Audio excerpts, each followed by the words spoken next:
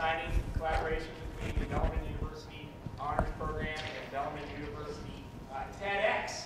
Uh, first, before I forget, before I say anything else, a huge thank you to the TEDx uh, Bellarmine uh, University crew uh, for run, upgrading our technology uh, significantly. In previous iterations of this event, our technology cave paintings, right? Hollering loudly into the void. But now we have real tech, uh, real production values, uh, thanks to our wonderful uh, Bellarmine uh, TEDx crew.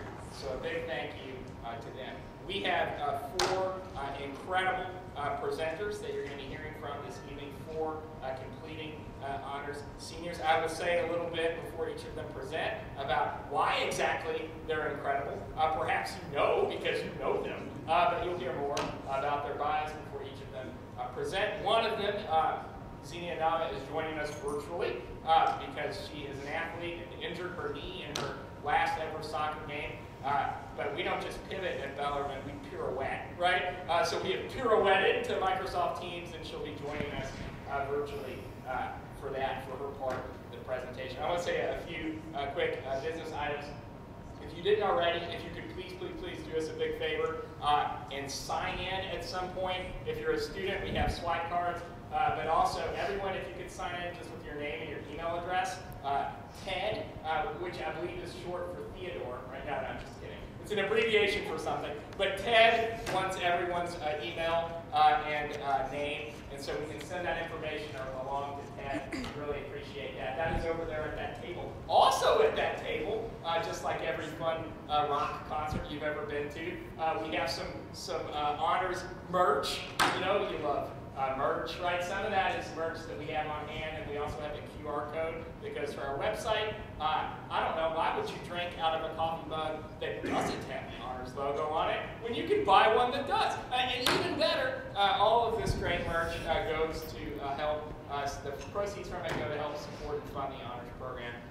Wonderful things like you're going to hear about today from these students. So, you know, you can do all of your holiday shopping tonight, right? And, and you'll be done. That'll be great. Uh, so sign in at, at, that table over there, see our merch, folks. Uh, after the presentations this evening, we'll have a Q&A, and then after that Q&A, we'll have a reception in the McGrath Gallery, which is right over here. Believe me, you're going to want to go. The food is very good. Uh, uh, I made it. No, I did not. But I did check it out, and it looks really good. Uh, and the other, the even more part is that you're going to hear about Kenny's project, and Kenny's project is an art installation which is currently installed in the McGrath Gallery, and spoiler alert, it is amazing. So you're going to want to check that out, uh, get some food, uh, and, and, have a, have a soda uh, on us. Uh, and then, because we have all sorts of rocket things going on tonight, there is a play, uh, Angel Street, that's happening at 7 o'clock that Samantha Hacker is involved with. I believe it's sold out, but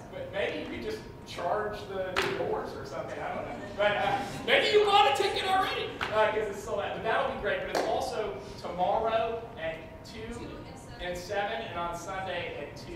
Uh, I believe it's an adaptation of the film Gaslight, is that right? Yes. Uh, so it sounds great. Uh, and, yeah, several honor students involved in that. It should be a really uh, remarkable production. And then, happening here in Crawley, we have the Sondheim Revue uh, this evening. Uh, so wonderful singing, I believe that's also at 7 o'clock. So you can see these presentations, uh, you can have some food, you can check out Kenny's awesome art, and then you can be entertained uh, basically for the, for the rest of the night. Got you covered here. Uh, so anyway, well thank you all uh, for being, being here, and thank you for your support of, these, of these incredible students. First, this evening, we are going to hear uh, from Chloe uh, Powell. Uh, Chloe Powell is a communications major uh, at Bellarmine University. She is graduating mere days from now uh, in, in, December. She has also been a member of our women's cross country and track team. I understand she is very fast. She didn't write that in her bio, but I've, I've heard, I've heard that. Uh, she's involved in Bellarmine Christian Fellowship and club soccer.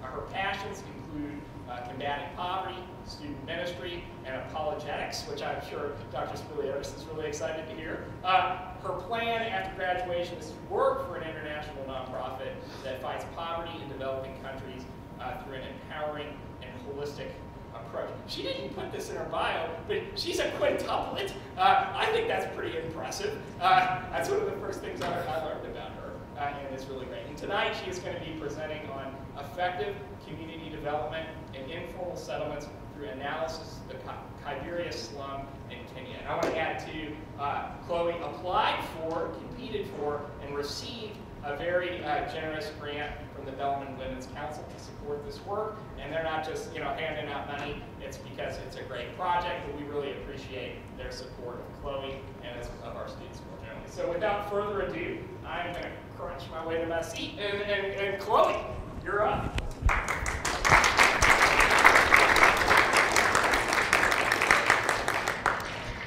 In the words of Harvard University professor Michael Fairbanks, many people have a heart for those living in poverty. That's the easy part. But very few have a mind for how to fight poverty well. My thesis is about what effective community development looks like in informal settlements, specifically through analysis of the Kibera slum in Kenya. I had the privilege of doing an internship back in the summer of 2021 through a nonprofit uh, based in Nairobi, Kenya, which is when I was first able to uh, experience uh, some of the challenges that Kibera faces.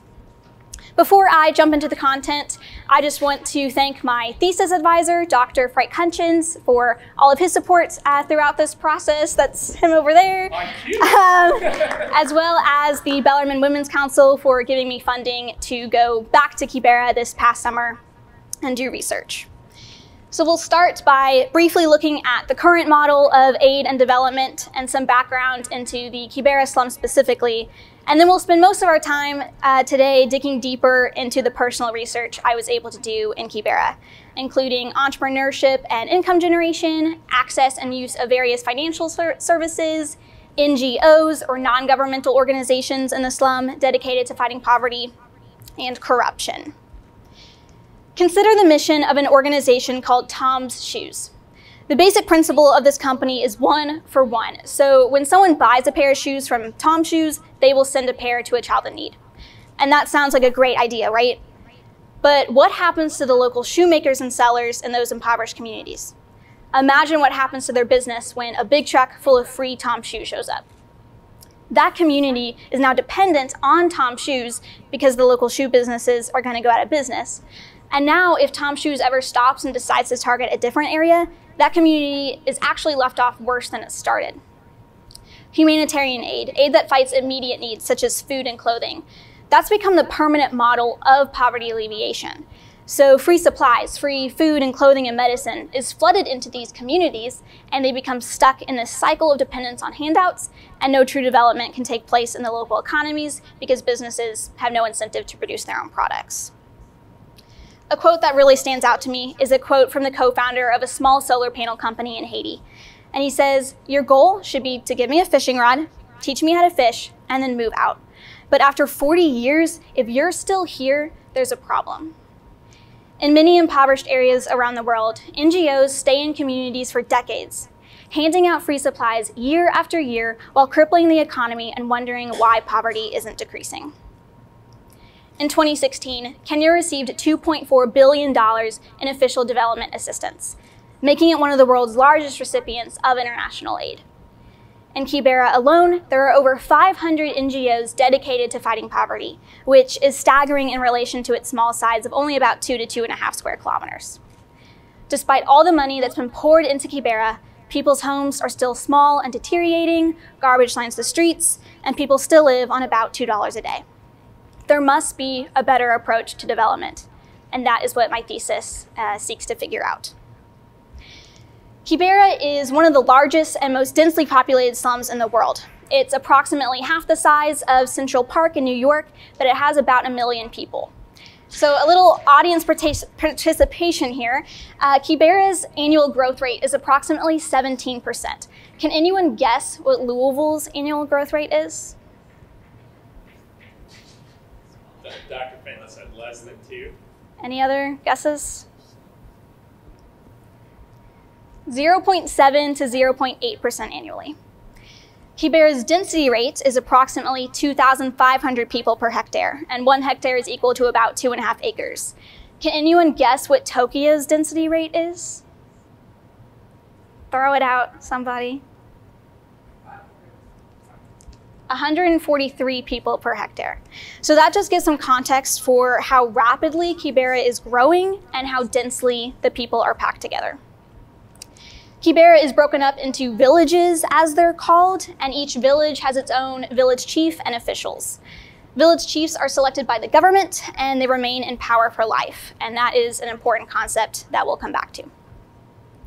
So as I mentioned earlier, I was able to go to uh, Nairobi, Kenya for three weeks this past summer and do 107 uh, in-person interviews with residents living in the Kibera slum there. So the first two questions that I asked residents were what their favorite and least favorite things about living in Kibera are. So for the least favorite things, the three most cited answers were the unclean environment, bad or congested houses, and theft or insecurity. Kibera is recognized as one of the worst slums in the world. Because it's an informal settlement, the government has no obligation to develop the infrastructure or provide basic services. And the land is also owned by the government, so residents have no property rights. This is a huge hindrance to development in Kibera because at any point the government can come in and choose to construct a railroad or building and demolish any houses or businesses they want. And this has happened many times in Kibera's history. So there's little incentive or at least real concerns before an individual might choose to invest in their home or business. Kibera doesn't have any garbage collection system or dumping sites, so garbage and waste builds up quite drastically in the streets, and this is one of the most visible problems in Kibera, as you can see. Kibera has the title of being the, slum, or the community of flying toilets, which is waste tied up in bags and thrown out into the streets. The average house size is somewhere between 9 by 9 and 12 by 12 feet, and often houses up to five or more people. These houses, or shacks as they're called, are often very visibly deteriorating. Now, despite all the obvious needs in Kibera, the slum does have many assets. When residents were asked about their favorite things about living in Kibera, the three most cited answers were how cheap and affordable life is there, the community or unity that the slum has, and how close Kibera is to town. It's a little over three miles away from the Nairobi city center. There are an incredible number of small businesses in Kibera, which allows residents to have access to a wide variety of products and services tailored to their needs and purchasing power. So people with the same income level living in another place would be in a far worse situation. A 2012 report of The Economist goes so far to say that Kibera may be the most entrepreneurial place on the planet. Many residents engage in multiple different kinds of income generating, generating activities, such as, such as running two businesses or running a business and also doing casual work on the weekends. Over half of the residents I interviewed had at least one small business. About a third did casual work, and very few had formal employment. Average income was roughly 71 US dollars per month, or about $2.37 per day. So often these businesses are not these thriving businesses, but it's enough to keep the residents' heads above water and provide a bit of stability and income. There was a really wide variety of different types of businesses the residents had. So not only were there basic products sold, such as food and clothing, but also movie salons, uh, cyber cafes, jewelry, entertainment, things like that. Now, there are only a few market areas in Kibera where residents are actually allowed to set up a business. So these residents pay a monthly fee that's collected by the city council and submitted to the government. If a resident sets up a business that isn't in one of these market areas, the correct procedure would be that the business owner would be given a notice to vacate the area. If not, the business would be destroyed. However, Kenya is an incredibly corrupt country, which we'll talk about more later in this presentation. So in Kibera, if a resident sets up a business outside one of these market areas, city council officials just make them pay a bribe every so often, pocket the money, and let them stay. One of the residents estimates that 75% of businesses in Kibera are in these restricted areas because there's just not enough room for the overwhelming number of businesses. Residents have really little incentive to expand in these areas because they never know when their business could be destroyed. Maybe somewhat surprisingly, residents have access to lots of different financial services, one of the most popular options in the slum is savings groups, which are when 10 to 30 individuals agree to meet weekly or biweekly and save a certain amount each week. As their savings build up, they can distribute loans to members of the group with an agreed upon interest rate and loan terms. Residents also have access to many banks and a service called M-Pesa, which is basically a less formal banking service that allows users to save and transfer money as well as access loans. 56% of uh, residents interviewed were in at least one savings group, with 38% of those being in two savings groups at one time, and 7% being in three savings groups at one time. Almost half of the residents uh, that I interviewed either currently had a loan or have had one in the last six months. And the three most cited reasons for taking out a loan were for a business, uh, to pay for school fees, and for various household items. Unfortunately, repayment rate was not great. 64% of those who had a loan had missed at least one repayment on their loan, and many had missed several repayments.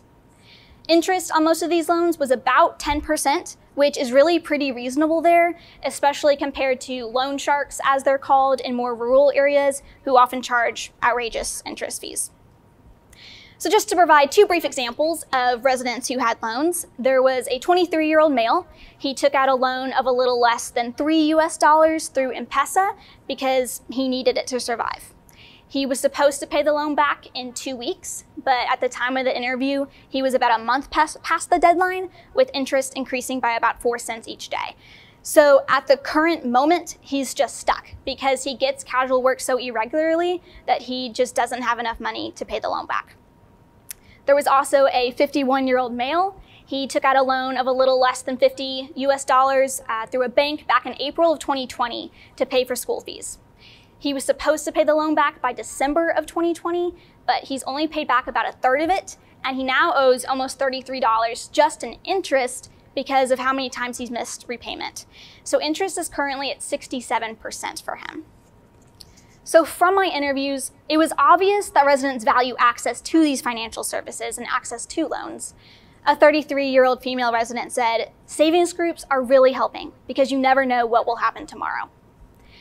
Access to loans allows residents to brink any emergencies that may pop up. However, it seems that for many, low and irregular income makes repayment hard. As I mentioned earlier, there are over 500 NGOs in Kibera. One of the residents in particular really had a passion and understanding for how NGOs should engage in development effectively. He said, NGOs give people food and the people are dependent. Instead of creating independence into the lives of people in Kibera, they create more dependence, to the point where these Kibera residents cannot live without these programs running. I think such programs should be wiped out of Kibera. Unless someone has sustainability in mind, they should not be running in Kibera. He went on to explain that most residents have the mentality that NGOs should offer all their services for free and residents shouldn't have to do anything for them, because that is the expectation that's been set for decades. He described it like a virus. One thing I was really shocked to learn about is how many NGOs in the slum residents perceive to be corrupt. So there are no formal statistics, but one resident estimated that 60% of NGOs in Kibera are started by Kenyans because they know there's a lot of money to be made in charity. When the donor money floods in, they keep the majority for themselves. Another resident estimated this number to be closer to 80%. Other NGOs may be started with good intentions by the owner. However, at least according to the residents, um, corrupt management unbeknown to the owner who may live outside the slum minimizes the NGO's effects. A 51-year-old male resident said, if the owner of the NGO sends two bottles of water, the resident will get a small cup. So there are two main problems with NGOs in Kibera. There's the ones that are just giving out free stuff and crippling Kibera's economy, and then there's just corrupt NGOs, where even if the owner is mindful of how to engage in development effectively, uh, corrupt, corruption within is minimizing the NGO's effects. So that brings us to the topic of corruption. And this is something that we've seen woven throughout many of the other topics discussed up to this point. Kenya is one of the most corrupt countries in the world. 73% of respondents said they have personally experienced corruption. Some common examples were having to pay a bribe to get a job and corruption from police officers and village chiefs and officials. Many of the residents gave the example of an initiative the government started to provide cleaning jobs in Kenya. Those most in need are the ones who are supposed to be selected for this program. However, uh, officials just uh, give this job to friends and family and then make the people the program is supposed to help pay a bribe to be selected for the program.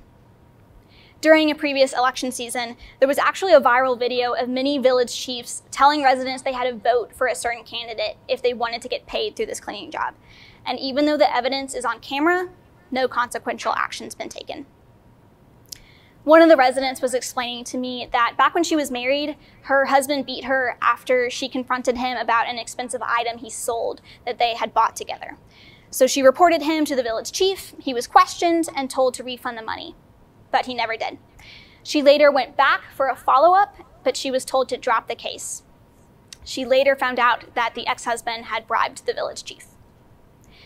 David Rakiwa, a Kenyan journalist, writes Corruption will never fail to be the reason for almost all vices in the country. It has taken over the well being of Kenya, with leaders being the initiators. You can hardly find a job in Kenya without connections, and this is caused by tribalism and nepotism, which are norms in the country today. Kenya has had numerous anti-corruption campaigns over the years, intervention from the US, various Kenyan presidents saying they were going to crack down on corruption, and nothing's changed. Virtually everyone in power in the Kenyan government is corrupt, and people with money and power in Kenya can bribe themselves out of very literally almost any situation. I wish I had an easy fix for development in Kibera. But as I've sifted through my data and the research, I realized that really the problem is much bigger and more complex than that. I think the ultimate problem is corruption, and there are so many other issues that stem from that. Long-lasting change in Kibera will take multifaceted partnerships, collaboration with local and national governments, and significant community involvement to deal with complex root issues and systematic corruption. In Kenya, the laws against corruption are there, but enforcement is lacking because those in charge of enforcement are corrupt. The fight against corruption needs to be spearheaded, and it will require that the people of Kibera come together. I believe it will take Rosa Parks type of people and residents coming along alongside those people. I think an educational and legal advocacy NGO can really help in educating residents about their rights and giving them a voice and legal help in the beginning, but ultimately, this will only succeed long term if the people are empowered themselves. Some practical measures that I think could be beneficial in Kibera include a network of NGOs where these findings are discussed and there's collaboration and accountability.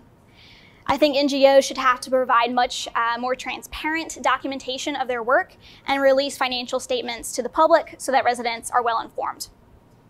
Obviously, not every NGO is going to be willing to collaborate, but hopefully there could be some ability to weed out the corrupt NGOs and tackle some of these issues in a more unified front. One of the biggest changes that I think needs to happen in Kibera is for the village chiefs to not be selected by the government. They need to be elected by the people. They should also have much shorter terms, such as one four-year term, instead of being able to remain in power for life. This way, uh, residents can elect a village chief who is honest and will actually deal justly with cases brought before him. That alone would make a huge change in Kibera. I also think there should be advocacy for the market areas uh, in Kibera to be expanded. I understand restricting some areas uh, to create a bit of order, but there's no reason these market areas shouldn't be expanded so that residents can start a business without fear of eviction. This could have a big impact on residents' abilities to invest more in their businesses and increase profit. Ultimately, these changes won't happen overnight. They'll take years to take effect and will require partnerships and collaboration across multiple different organizations and sectors. These are issues that have been affecting Kibera for decades, and as I mentioned earlier, are often much more complex than the surface may reveal. I'm so inspired and hopeful for the potential I see in Kibera. I'm amazed at the residents' work ethics, their joy, and their desire to succeed in life. If only given the opportunities to do so, I believe they will flourish in fulfilling the dreams and goals they have for themselves and for their families. Thank you.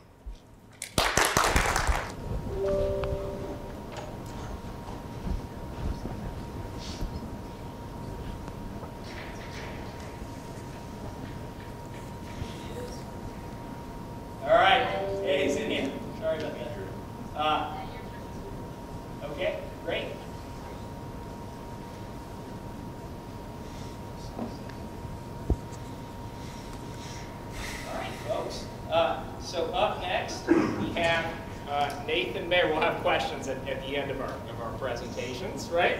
Uh, and Nathan is a physics major uh, with a mathematics uh, minor. Uh, his uh, incredible research that he's going to be presenting this evening is rooted in an internship that he did last spring with the Department of Energy's Oak, Oak Ridge National uh, Laboratory uh, in Tennessee. I always think of Oak Ridge with the Oak Ridge Boys, but there's also smart people like Nathan there uh, and doing really fascinating and interesting uh, work. Among his many other uh, awards and accomplishments, he's a Monsignor Horrigan Scholar, a Knights of Honor Scholar, a Bellman Trustee Scholar, a Bellman Grant recipient, a Gauss Family Scholarship Award. He was on the Dean's List, and he has presented this research already uh, at multiple venues, including Kentucky uh, Honors Roundtable, uh, SESP, or SESAPS, uh, and then Kentucky Academy uh, of Sciences. After graduation, uh, he plans to obtain a master's degree in medical physics, which I think is a really fascinating field, uh, with the goal of pursuing a career in clinical radiation therapy. So let's welcome Nathan up to the stage.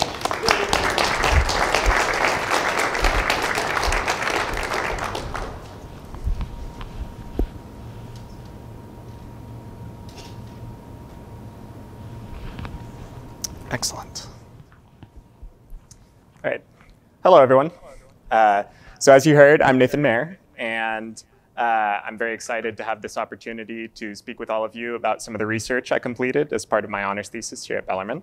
Uh, before we begin, I'd like to make a few acknowledgments, uh, namely, as you heard from Dr. Blandford, um, this research was completed as part of the Student Undergraduate Laboratory Internship Program at Oak Ridge National Laboratory under the direction of Dr. Benjamin Lawrie, and as such received funding from the US Department of Energy. Um, additionally, I'd like to thank some of my Bellarmine uh, faculty sponsors, including uh, Dr. Mohammed Salim from the physics department and Dr. Jen Miller from the mathematics department. So returning to my project proper, um, my research involved exploring cathodoluminescence evident features of tungsten disulfide, molybdenum disulfide, and tungsten sulfide selenide, which are a series of 2D nanostructures. Now, I recognize that that's a pretty intimidating and technical sounding title, but I'd like to take this opportunity to assure you that we're going to break it down part by part and start by exploring some of the background scientific concepts you need to know in order to understand the significance of this kind of research. So to begin, um, you may be asking, what do we mean by exploring these features? How exactly is it that we're talking about uh, collecting and studying data on these materials? Um, to give you a little bit of a point of reference for anyone who doesn't know, uh, you may have heard me refer to these structures as nanostructures, two-dimensional nanostructures. Um, so the nano prefix tends to refer to units of measurement of an incredibly small size. Uh, just to give you a little bit of a point of reference, the width of a single human red blood cell is about one micrometer, and we're dealing in the nanometer scale, so that is a thousand times smaller than that. So obviously, when you're starting to deal with things that are that small, you're highly dependent on technology to help facilitate image, creating images of this kind of a subject uh, in the field of microscopy. So now, uh, some of the microscopes you might be familiar with, like in the top left, um, are known as uh, compound optical microscopes, and these are excellent research tools and have their own place in scientific study, but they're a little bit inadequate for our needs. Um, due to a number of features, um, optical microscopes, for one, rely on your subject either being able to reflect light or otherwise have light pass through them as they use light and a series of lenses and mirrors in order to magnify an image of an object. So our uh, so there are some limitations to how clear of an image these kinds of microscopes are able to produce and how small of an image they're able to magnify. Uh, especially when you start to get into these nanoscale domains, um, the number of lenses that would be required uh, and the strength of the light source are completely impractical. It's, it's just a technological limitation that doesn't really exist. Um, However, uh, light is not the only medium that we use to produce images or magnified images of objects. Uh, as part of electron microscopy, specifically scanning electron microscopy, which we use as part of this project, um, you are able to use a high energy electron beam to irradiate the surface of the material you're trying to study. Now, as a result of that process, you raise the energy level of the component electrons of the material that you're trying to study. Electrons being, you know, the uh, very small negatively charged subatomic particles that orbit the atomic nucleus. So as you increase the energy level of these electrons with your high energy electron beam, you can actually start to raise their energy so much so that they actually begin to break off from the, your material themselves and escape as these secondary electrons. And by collecting these electrons, we're able to produce a magnified image of our subject. Uh, the advantage of this kind of imaging technology is clearly demonstrated in some of our images here. You're able to produce a much higher resolution image. Uh, on the left, we see an optical mic microscopy image of a whole culture of cells, whereas on the right, we see an image of a single instance of those cells produced via scanning electron microscopy. You can see that it's a much higher detail image and is able to uh, represent a much smaller area of what we're interested in studying. However, even scanning electron microscopy has its own drawbacks when it comes to imaging. Uh, you can only image the very surface of your material. It provides no information about the underlying structure, which is where we come into the second part of our title, cathodoluminescence. So cathodoluminescence refers to the emission of light in response to stimulation by high energy electrons. So when we're using a scanning electron micro microscope, our high energy electron beam does not have sufficient energy to cause all constituent electrons of the material we're trying to study to actually break off as secondary electrons. Some of them, as described by solid state band theory, are raised from their stable level valence band up to this higher energy conduction band. And in the context of a scanning electron microscope, your, your electron beam is scanning very quickly, line by line, over the surface of your entire material. So it doesn't stay in one spot for very long. Once it moves on past that spot, those electrons want to fall back down from the conduction level back down to their stable valence level state. Uh, the separation between these two areas is called a band gap. We'll come back to that later. Um, so as it's falling back down, making this energy level transition, structural defects in that material, be that where an individual atom or molecule is missing from the crystalline matrix that makes up the structure, and there's like a hole in that crystal structure, or there is impurities where you have atoms of another element that are present in that material. In either case, uh, it's able to cause that electron to be temporarily trapped as it falls from conduction to valence band, uh, which results in this emission of several distinct wavelengths of light. Now, by collecting and focusing these wavelengths of light, we're able to produce a second kind of electron microscopy image called a cathodoluminescence image. And these images have the ultimate benefit of being able to give us some kind of a clue as to, under, as to the underlying structure of the material. Because as we said, how it emits light, the wavelength, the intensity of that light, is all determined by how that structure is made up and how it ends up trapping these atoms, or these electrons in this energy transfer. So now that we know a little bit about some of the background scientific processes that we're using as part of this experiment, what about the materials that we're imaging themselves? Uh, you've heard me refer to them several times as two-dimensional nanostructures, but what exactly does that mean? So these materials are considered two-dimensional because of the fact that they are a single molecule in thickness. They are as close as a material can be to flat as is possible while still maintaining a uh, contiguous structure. So and they are nanostructures because of the fact that even at this single molecule thin level, they continue to manifest this very ordered, arranged crystal structure in these very nice repeating tessellated shapes. So for each of our materials individually, looking at the exact materials that we were studying as part of this project, we notice uh, particular features about their composition. So for our tungsten disulfide, shown on the far left, you'll notice that it has a top and bottom layer made up of sulfur atoms with a layer of tungsten sandwiched in between, whereas our molybdenum disulfide is much the same. It has a top and bottom layer of sulfur with those molybdenum atoms. These are side views in both cases. Uh, at the top represented in A there, and then over here in B uh, with that molybdenum being sandwiched in between. Um, however, uh, what's more unique is our tungsten sulfide selenide, which is what we refer to as a heterostructure or a Janus structure. And that's of particular interest because you'll notice that we see no repetition of sides. The, both the top, middle, and bottom of our crystalline matrix are made up of their own elemental composition. You have selenium on top, and then tungsten in the middle, and then sulfur on the bottom. And that's so named uh, as a Janus structure. It's a rather whimsical name derived from Roman mythology um, after Janus, the uh, Roman god of possibility, who's often depicted having two faces, just as our material has two faces of unique composition on the top and bottom. So we've talked a lot about what it, exactly it is that we're studying, but the question remains, why is this worthy of scientific study in the first place? What is it that we hope to accomplish as part of this research, and what's the greater technological context of our research proper? Um, 2D nanomaterials in general already demonstrate a variety of useful properties on their own. Our ability to manufacture them is still a relatively recent development, and as but even with that being the case, they've shown a lot of promise in several technological fields. Uh, they are excellent thermal and electrical conductors, and as such, have a variety of applications when it comes to things like particle detectors, batteries, solar cells, and other such fields.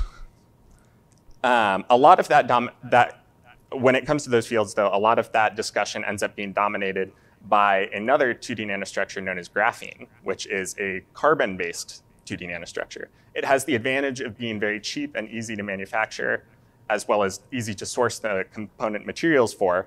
But our materials, our tungsten disulfide, molybdenum disulfide, and tungsten sulfide selenide, have the advantage when it comes to research of having all of the benefits of graphene in addition to having this level of optical activity through cathodoluminescence that we discussed earlier. And that matters when it comes to the application of an even more emergent technological field known as quantum processing and quantum computing. So in order to, for a material to be relevant for these kinds of structures and to build into this field, it needs to have this precise ability to manipulate and control light at the nanoscale. Uh, it needs to possess a band gap. Um, graphene, in most contexts, has either no or very little band gap, whereas our materials possess a significant band gap, which we can exploit to control light and use it for this precise state control that enables storing and processing information through the use of photons when it comes to quantum computing. So when it comes to our experiment proper and what it was that we specifically hoped to accomplish, our goal was to take a series of both secondary electron and cathodoluminescence images of each of our materials, and we were interested in targeting any areas where we saw non-uniform optical behavior. We were interested in looking for areas where we would see part of our material light up brighter under cathodoluminescence conditions than another part of our material, or at a different wavelength than the rest of the structure. And it was our hope that if we could pin down what caused these kinds of abnormalities in the structural sense, those uh, defects could be replicated in the future when it comes to actually manufacturing these structures to control and manipulate light on the nanoscale which, as we talked about, has a number of technological applications. For our experiment itself, uh, we took samples of each of our three materials, which were grown on these very tiny glass plates um, that were part of these little containers called stubs. And then we screwed them into the stage platform for our electron microscope. Then that stage platform, which comprised part of our electron microscope chamber, is then closed. The air is pumped out of the chamber, creating vacuum conditions. And then we select either around a single flake or a cluster of flakes of our material, about a 10 nanometer window of acquisition. We, using uh, electron microscopy software, we essentially divide this area of acquisition into a very thin grid and then have our electron beam scan over this grid, spending a certain amount of time in each of the individual boxes that comprise that grid. We collect the light and the secondary electrons that it gives in response to this stimulation, and then we use those to produce a series of images based off of it. Uh, as part of this procedure, a lot of what our time ended up being spent on was actually evaluating our, our different imaging conditions and how we could maximize those in order to get the highest resolution images possible while also avoiding damage to our samples. Uh, so we could control the beam current, the beam energy, how tightly we divided our acquisition window into a grid, and then how long our electron beam was spent centered on each of the individual boxes of said grid, um, which we refer to as our exposure time.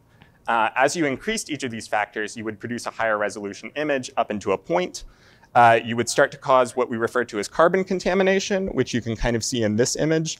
Note that you see a very large or a very distinct square uh, around the area that we were trying to image, which happens as, as you start to increase your beam current, your beam energy, your acquisition time, et cetera, uh, hydrocarbon contaminants, so biological matter that manages to get into your electron chamber before you induce a vacuum, start to get pulled out of the environment and deposited on top of what you're trying to produce an image of. And it kind of ruins our images because, like we said, uh, carbon and graphene, they do not uh, experience cathodoluminescence activity. It kind of just builds this big opaque layer on top of the things that we're trying to image.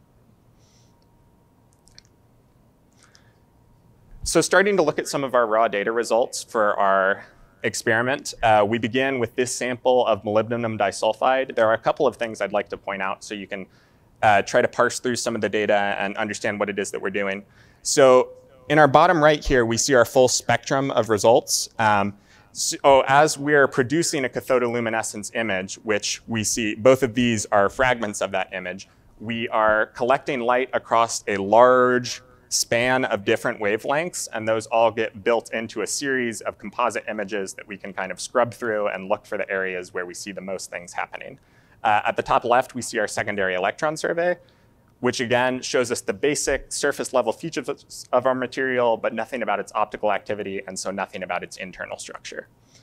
You'll notice for the molybdenum disulfide that we see two areas of key activity at 450 nanometers and 575 nanometers. I'm going to focus on the 575 nanometer area for the moment because I think it best demonstrates what I'm trying to show here, which is that this is what we expect to see. This is very normal behavior for the material at a couple set wavelengths, which are these big spikes. You'll notice that these correspond to the actual values we see. Um, the entirety of the flake will light up and we'll see that that brightness is largely the same over the surface of the entirety of the flake. This is normal optical behavior, but it's also not the behavior that we're actually interested in targeting.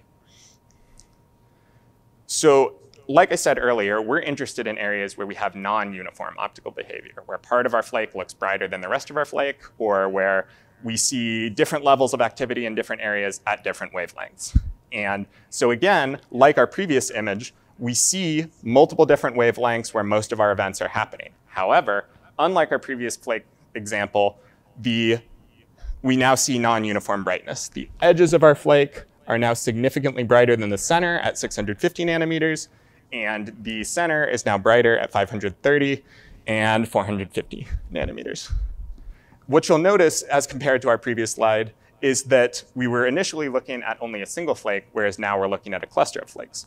Uh, we targeted clusters of flakes because we were interested in seeing with the possibility of multiple flakes overlapping if the difference of a single layer of material versus a multiple layers of overlapping material might cause non-uniform optical activity. So when we saw that in the difference between single and multiple flakes, we potentially thought that that was the cause, that we had multiple flakes overlapping, and that's what was causing this non-uniform cathodoluminescence activity. However, Further studies showed that for individual flakes, in this case an individual flake of tungsten sulfide selenide, we also began to see this kind of increased brightness at about 650 nanometers along the very edge of the flake as opposed to the center of the flake. So that told us that this behavior was not exclusively limited, limited to clusters of flakes and that a bilayer was most likely not the only cause of this behavior.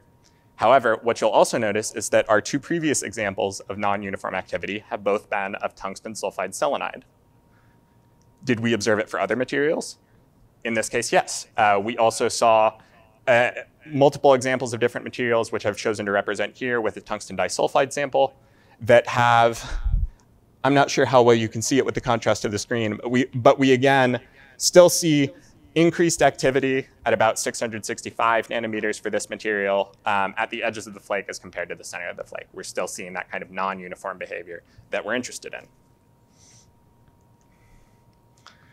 When we actually stopped to attempt to break down this behavior and quantify it and, and better analyze it and try to establish its source, our analysis began to run into some significant issues. Um, we used uh, two different uh, image breakdown decomposition methods to accomplish this analysis, known as principal component analysis and non-negative matrix factorization. Uh, both are techniques that kind of fall outside of the scope of this talk to give full explanations of, but essentially all you need to know is that both are designed to take our data set, which as we talked about is a whole host of different images spread across a bunch of different wavelengths, and try to pick out the most significant or prominent features of these images.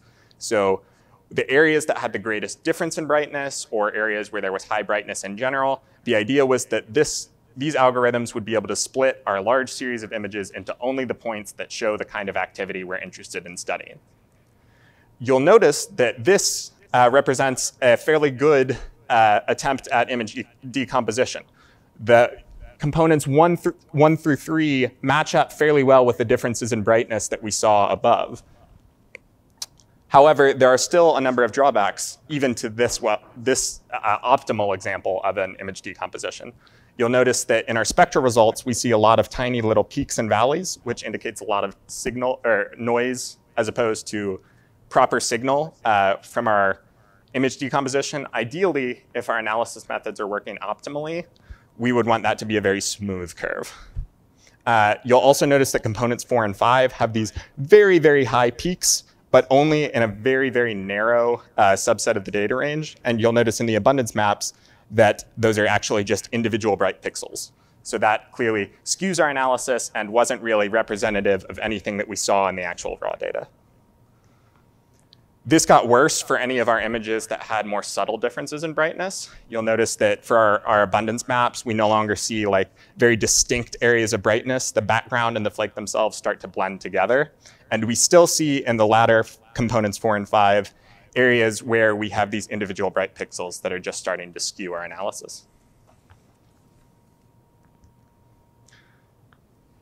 In conclusion, uh, we still need to continue to revisit and uh, work more on our image analysis methodologies. Uh, there are a number of a number of possible causes for the image artifacts that we saw.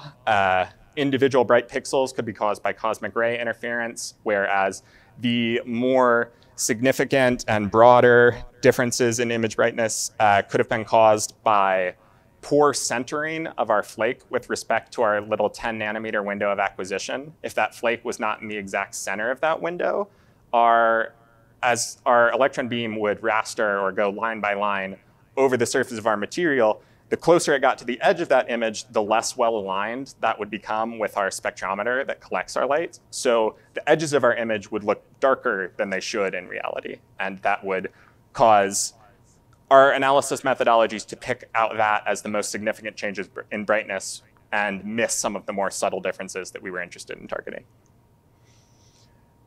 Uh, so once once we were to revisit our analysis methodologies and find a better strategy to kind of normalize our brightness to try and get rid of these artifacts by smoothing over er uh, erratic differences in brightness for our images, we uh, would hope to be able to take further data and confirm some of the initial trends that we saw.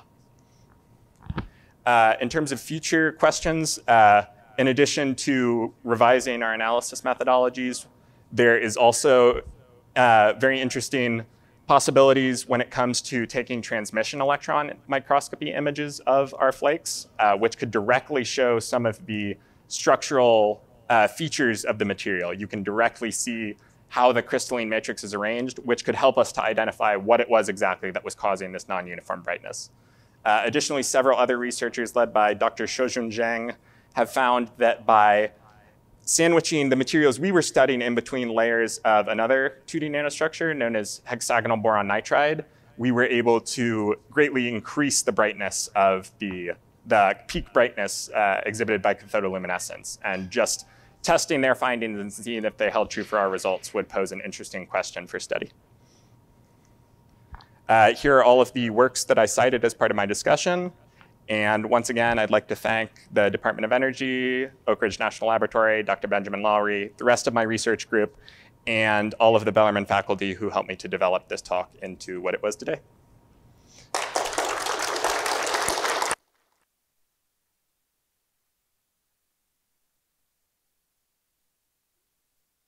We might have reached peak brightness with that presentation, right? Uh, no, the clarity which she. And uh, like uh, Chloe ha- has excelled in the classroom and on the field. Uh, for Zenia as a member of our women's uh, soccer team uh, here at Bellarmine. Uh, she is currently working for DMLO CPAs uh, here in Louisville, Kentucky. And after graduation, she is weighing her options uh, for careers related to mathematics, perhaps in finance, data analytics, accounting, wherever her brilliant mind takes her next. She is going to be presenting today uh, on the uh, global uh, positioning uh, system. So, uh, everybody, big hand for Zenia.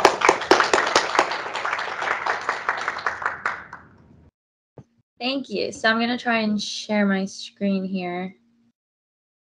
Um, you guys can hear me, right? Yeah, great. Okay.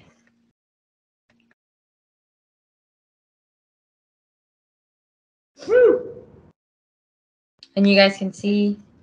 Yeah. Yes. Okay. Sorry, I can't really see from over here. All right. So my name is Zenia Nava, um, and first and foremost, I want to thank everyone for allowing me to be able to present this way, uh, for your flexibility that I'm very, very appreciative of. So, I decided to do my thesis on the global positioning system. So, first off, when you hear global positioning system, uh, what do you think of? So, when asking fellow classmates, it's incredible the things that they said. One of my roommates said it sounded like a professional machine, while one of my other roommates said it was some contraption used all around the world.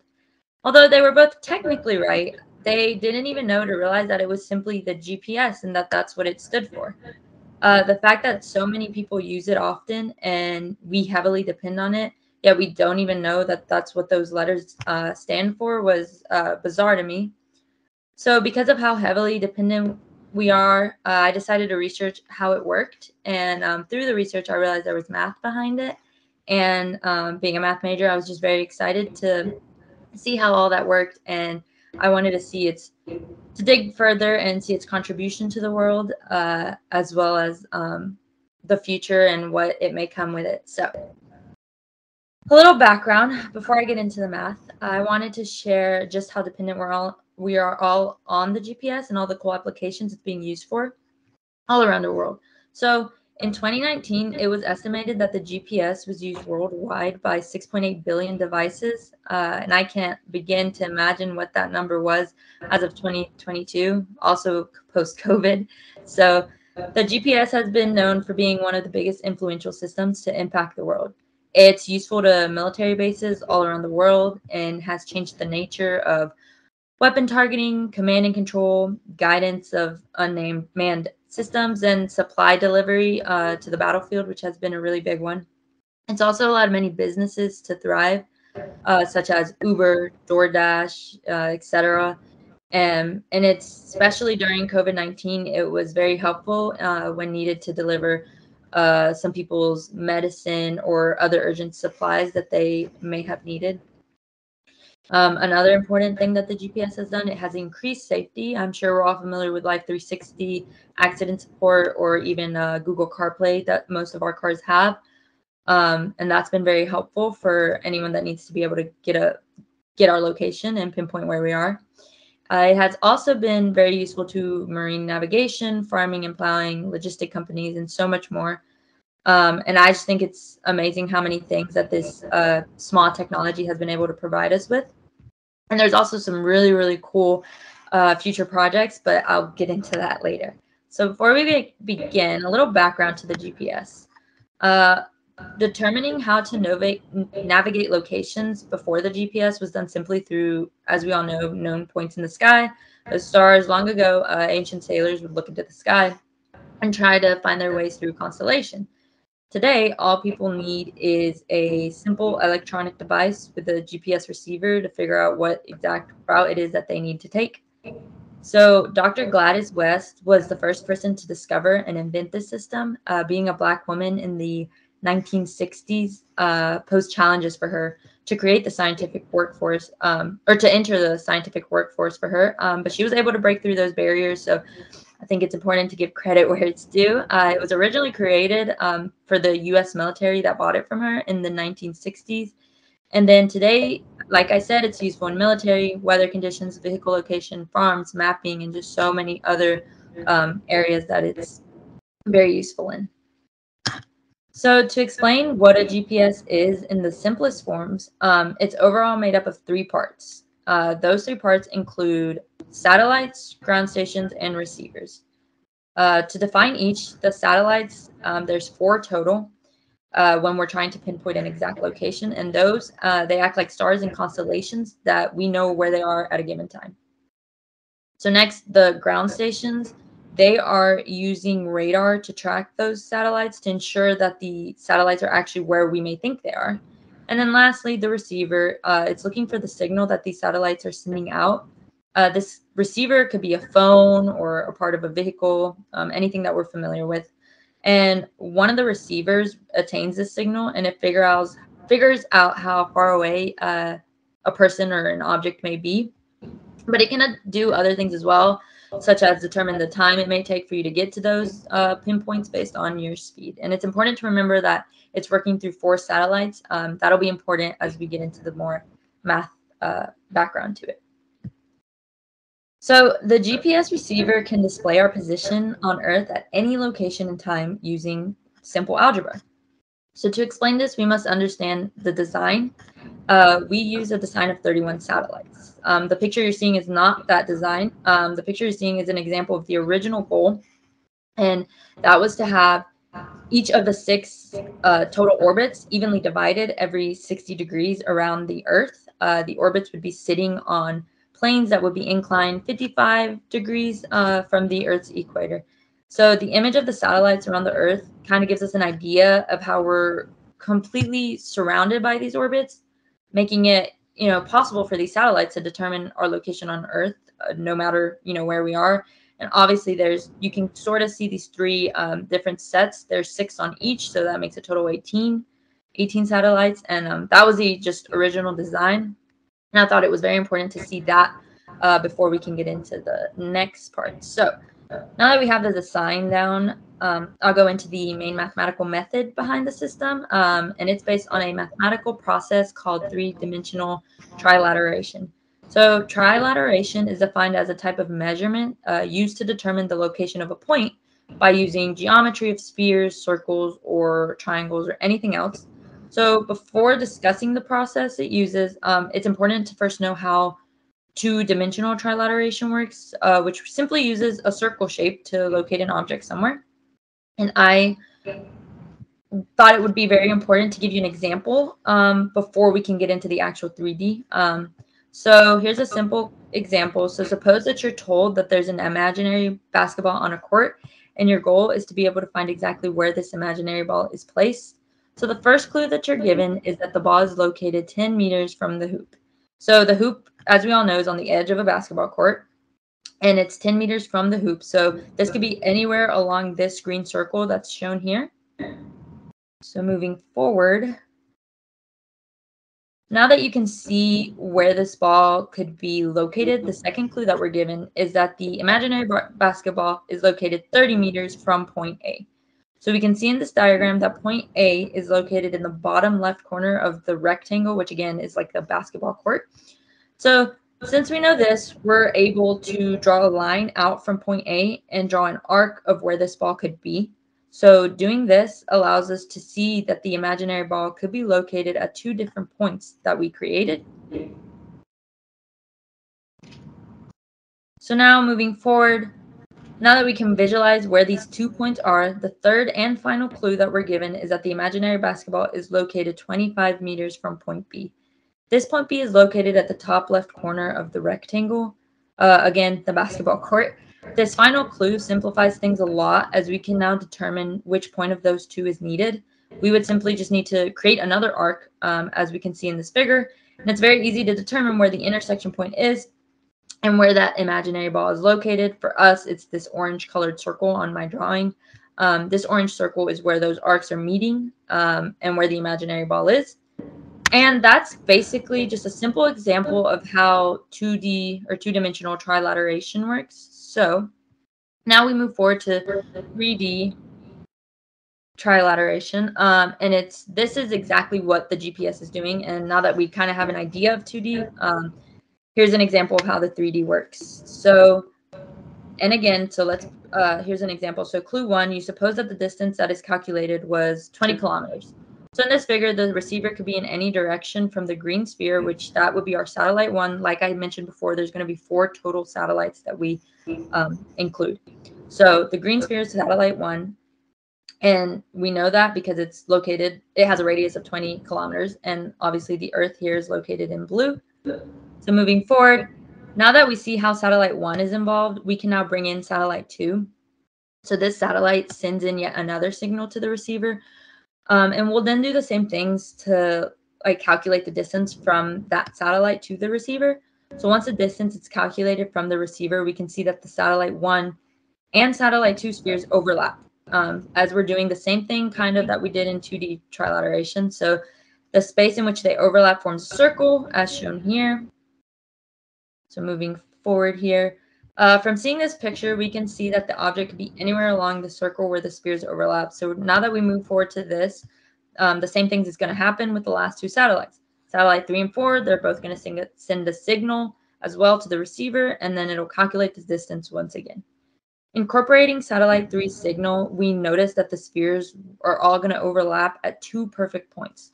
From these points, we know that there are two possible places where this object could be. And finally, the only thing that's left is that fourth satellite to, this, to, to determine which of those two intersection points is the location of the object. So doing the same process in which we bring in the satellite 4, we see that there's only one point where all of these four satellites meet. And we can see that here on this uh, red circle here. So that would be where our location would be technically on Earth. So as we have seen, this is an example of 3D trilateration and how it allows for the global positioning system to really pinpoint an exact position of an object. Um, it clearly shows where the four satellites navigating on object an object on Earth um, to clearly illustrate the positioning.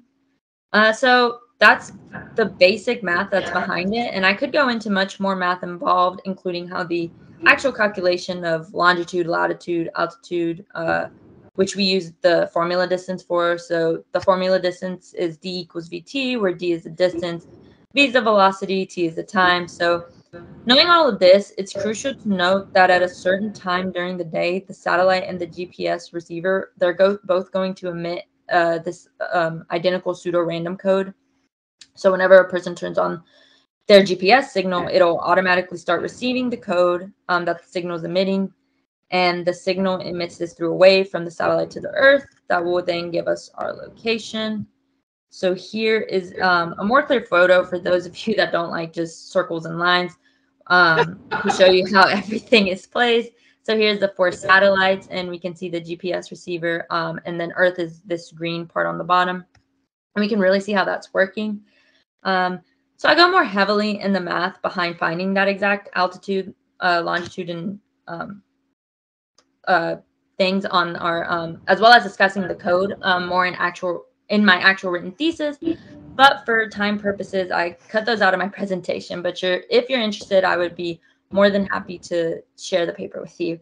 Um, but to conclude on the math section, the GPS actually begins with a simple mathematical process but it can become very challenging as we dig deeper and we now can see this in within the 3D trilateration. So with the reliance of the three dimensions as well as the four different satellites, we can prove more provide more information to any single object or pinpoint any location. All right.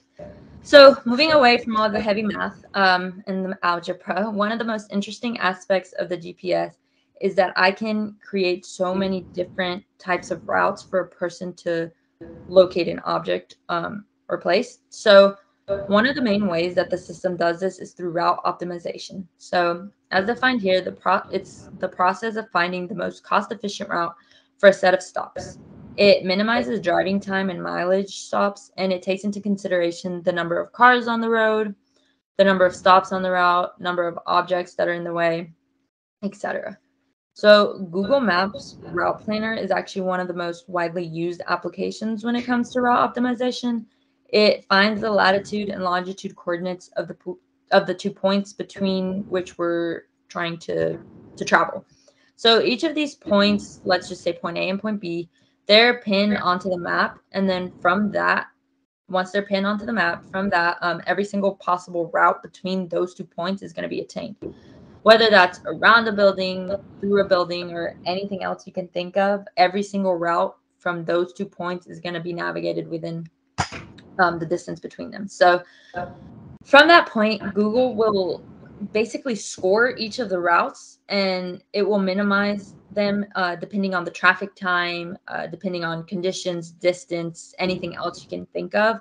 Um, and whichever one, it'll come up with about two or three, as we can see on our phone. It does that. You know, we're not given all the different routes, we're just giving the two or three best ones because that's the process of Google basically scoring which one um, the system thinks is going to be best for us. And um, that differs whether that's do you want to get to a place um, faster but use more mileage, or do you want to save on gas and get to a place longer but it's actually going to end up uh, using less mileage. So I think that's really interesting and something that the GPS can do as well. So again, it's very very important to realize um, that the map on our phone is doing all of this within a matter of seconds, which is crazy how this uh, form of technology um, is actually working.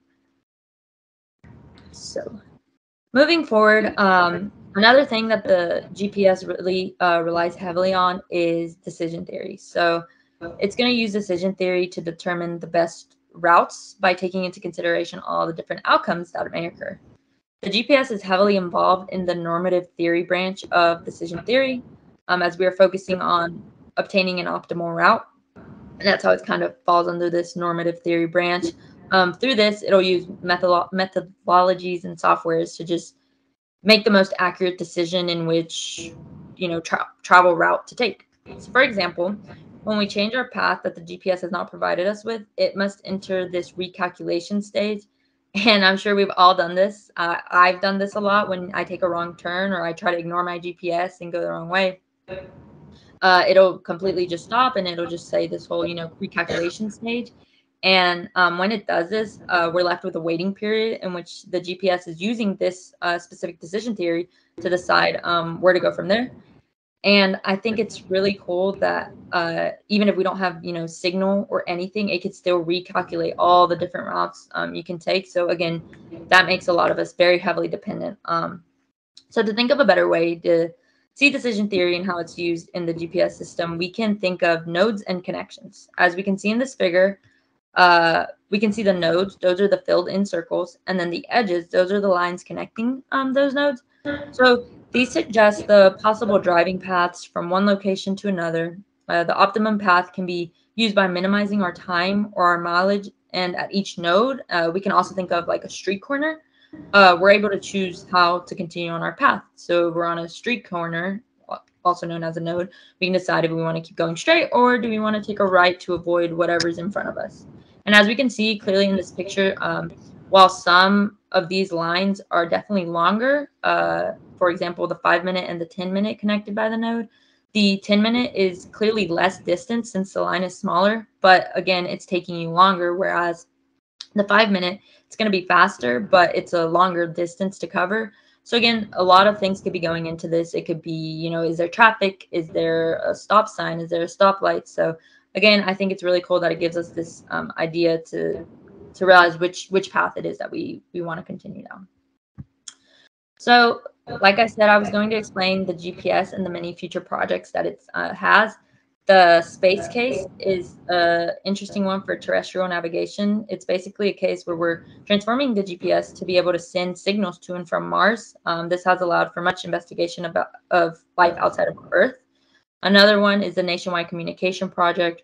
We're trying to get signals developed for positioning satellites from the US to other countries, for example, Europe, uh, China, Japan, so that they're all um, interoperable for use in space. Um, another one is NASA's tracking stations. Um, they're trying to make it act on the satellites and just create more modern styles to these machines just to make them more efficient, um, always trying to improve. And then a very interesting thing that I found recently was NASA's uh, project. They actually crashed a spacecraft into an asteroid, which I thought was really cool.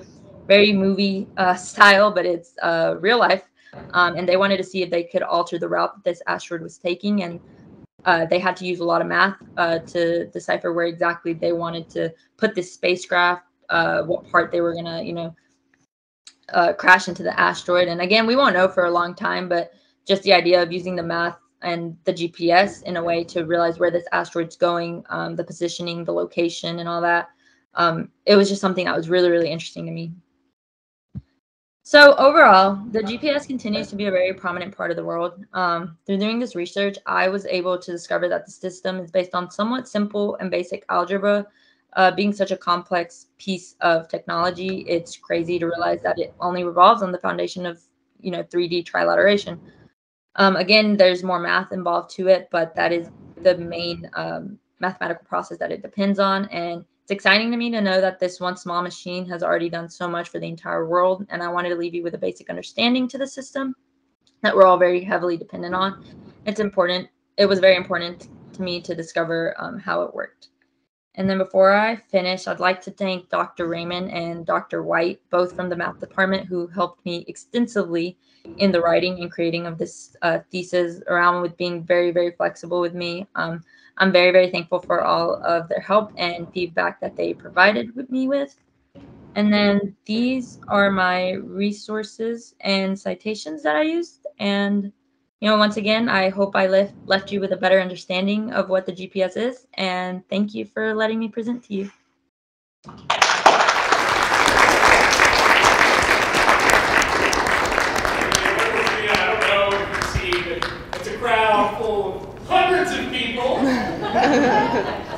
Clapping and smiling. Well, can't see, so. Lots of mathematics professors nodding appreciatively. So, yeah, wonderful. Thank you. Uh, thank you very much. Thank you for your flexibility uh, with us on the technology. Oh, Can't be as bad as the first time. That's, uh, that's a fact. So, I'm going to mute you and then call our last uh, presenter uh, for today uh, is Kenny Kelley.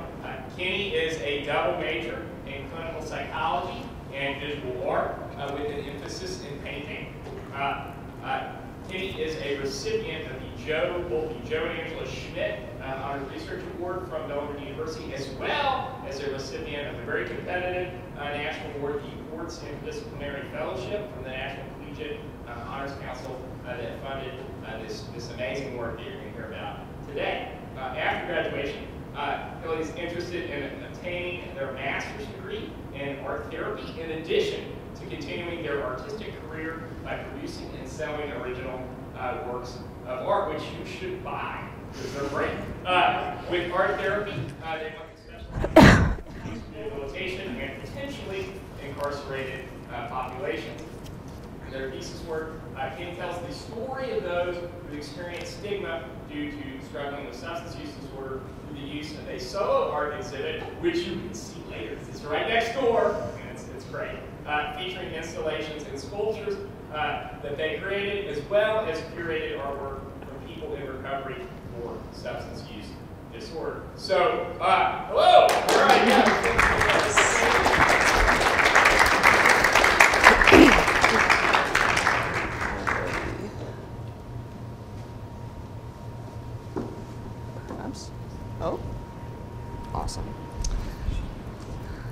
Hello, everyone. Uh, as Dr. Blanford said, I'm Kenny Kelley. I'm a clinical psychology and visual art double major with an emphasis in painting, and I'm going to be presenting on my project titled The Hurt and the Healing An Artistic Investigation into the uh, Stigma Surrounding Substance Use Disorder. Before I begin, I'd like to thank everyone for coming out this evening and listening to all of our presentations. It truly is an honor to present on a topic that I'm passionate about to a group of people who are interested in listening. I'd also like to thank my thesis advisor, Professor Hartford, and my thesis readers, Dr. Pam Carter and Professor Sarah Martin, for all their help during this process. And finally, I'd like to thank the National Collegiate Honors Council for awarding me with the Portz Interdisciplinary Fellowship, which allowed me to uh, develop my project to the full extent that I had hoped. To begin, I'd like to provide you all with some background as to how I got interested in this topic. Back in high school, I was introduced to an organization called, called Art for All People in Cincinnati, Ohio, and I quickly started volunteering alongside the founder, Sarah Hellman. Art for All People's mission is to reach out to marginalized communities to provide them with the means to create art. It is Sarah Hellman's belief that art can provide a special kind of healing that may be particularly hard to achieve through other means such as verbal expression. Therefore, it is Art for All People's goal to help people achieve healing through the artistic process and tr trusting relationships formed during the art sessions. During the three years that I spent volunteering with Art for All People, I visited women's shelters, children's homes, and I even led independent painting sessions with children at the Welcome House of Cincinnati. However, my favorite uh, place to volunteer at during my time with Art for All People was the Center for Addictions Treatment, or CAT as we called it. Now, I have to admit something to you all. I was originally nervous going into this experience because of the preconceptions I had about substance use and those who struggled with it. Prior to my first visit to CAT, my only exposure to these topics came from what I had observed on TV shows and movies or in the news. As all of you probably have observed for yourselves, these portrayals of substance use and those who struggle with it in these forms of media are oftentimes less than sympathetic, and they often only frame the person using substances as being criminal, irresponsible, a junkie, or even just straight up a bad person. Even in shows like Breaking Bad, where you can see some of the realistic portrayals of substance use, or at least its effects in people's lives, these difficult topics are still glamorized in a way that ignores the full reality of the issue, or at least they make it seem more digestible. However, this is far from the reality that I observed when volunteering at my first session at CAT. During the course of our two and a half hour session, Sarah guided the group at CAT step by step through a painting, and I went around the room and provided any help when it was needed. Sometimes I would help someone if they needed assistance painting or drawing a straight line. Some people wanted to execute their own design instead of painting the one that Sarah was uh, guiding them through. And so I would talk them through their idea and help them sketch it out onto the canvas. No matter what I was doing, I was sitting down and talking with people as I helped them with their artwork. As I talked to them, I heard about their lives. I heard about their children, their parents, their, where they worked or used to hold a job, what hobbies they had, what their favorite food was, and how their day had been. What I came to realize through these, what would seem to be completely normal conversations, was a revelation that stuck with me and grew stronger every single day that I continued to volunteer with Sarah at CAT. There was absolutely no reason that I should have been nervous going into my first session volunteering at CAT. After all, these people were just that.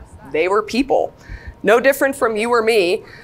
They had lives they led and passions they wanted to pursue, and painful memories and regrets. The only difference between them and me was that their particular struggle was one that has been heavily stigmatized and misunderstood in our country for a very long time now. The same stigma and misinformation is what contributed to creating the TV shows that I saw, that in turn made me uncomfortable with the idea of interacting or being around people who struggled with substance use disorder.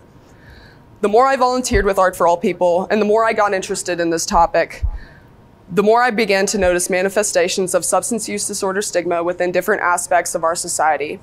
To me, this topic uh, to me, this topic is so pervasive and quite frankly disturbing that I felt compelled to pursue this topic further with my honors thesis.